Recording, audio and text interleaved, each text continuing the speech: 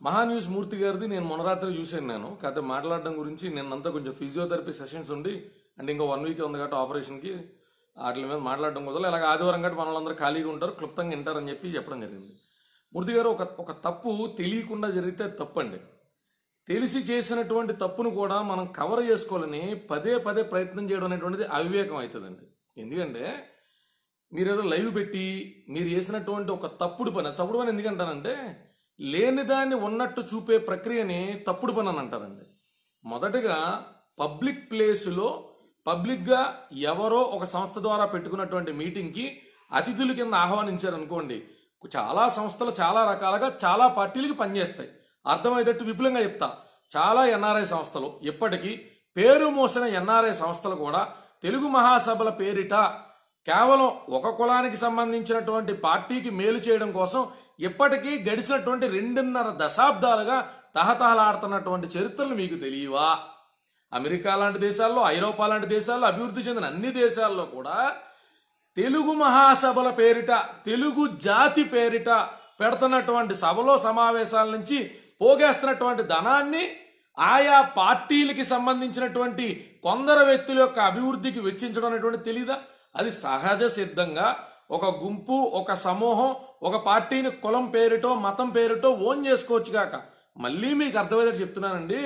ఒక గుంపు కానీ ఒక సమూహం కానీ ఒక కులం పేరిటో ఒక మతం పేరిటో ఒక ప్రాంతం పేరిటో ఒక పార్టీని ఓన్ చేసుకోవచ్చు కాక కానీ ఒక పార్టీ ఆ గుంపుని ఆ కులాన్ని ఆ మతాన్ని కూడా అలా ఎంకరేజ్ చేయలేవండి అంటే any caste can own a party but a party cannot own a caste మీకు అర్థమైతే చెప్తున్నా.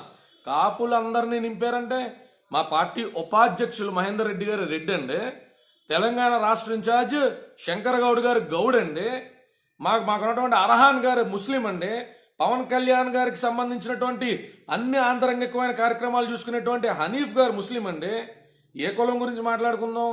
ఏ పార్టీలో ఏ కులం గురించి మాట్లాడుతున్నారు? కాపులకి పెద్ద పెట్టేసే యోచన పవన్ కళ్యాణ్ గారికి ఉంటే కేవలం ఏడెనిమిది మందితో మాత్రం ఉంచుతారా? పార్టీ మొత్తాన్ని కాపులతో నింపేలేరా? ఫస్ట్ టికెట్ ఎవరికో ప్రకటించలేరా?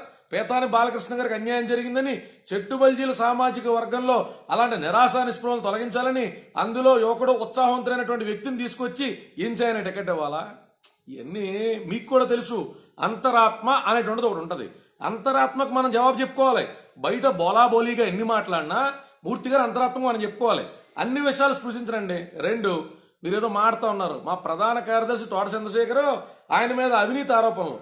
ఒక్క ఆరోపణ మూర్తి మీరు కనుక నిరూపించగలిగితే ఒక్క ఆరోపణ నిరూపించగలిగితే నేను సగం మేసం గీయించుకుని సగం గుండు కొట్టి తిరుగుతా ఒక్క ఆరోపణ మీరు నిరూపించలేకపోయినా మీ ముక్కు నేలకు రాసి మా ప్రధాన కార్యదర్శి కాలుకు ముక్కుతారా? Do you know what is his track record do you know what is his track record అని అడుగుతున్నా. ఫోన్ కట్ చేయండి. మా ప్రధాన కార్యదర్శిగా ట్రాక్ రికార్డ్ ఏంటో తెలుసా? ఆయన నాగ్పూర్లో కానీ ఆయన పరిసర ప్రాంతాల్లో కానీ పనిచేసినప్పుడు బ్యూరోక్రాట్ కింద ట్రాక్ రికార్డ్ తెలుసా? ప్రైమ్ మినిస్టర్ నుంచి ఆయనకు వచ్చిన అవార్డులు తెలుసా? అదే తోట చంద్రశేఖర్ గారి గురించి అవినీతి ఆరోపణలు మొట్టమొదటిగా మొదలుపెట్టినటువంటి ఎల్లో మీడియా ఎప్పుడు మొదలెట్టిందో తెలుసా?